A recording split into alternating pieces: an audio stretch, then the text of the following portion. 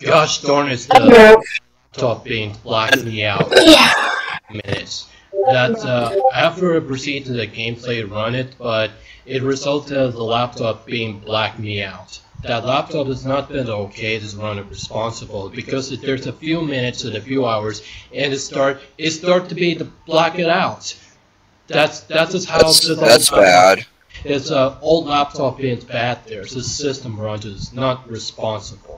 But I had just gonna need a new PC once. Now I need to have a new computers and the budgets.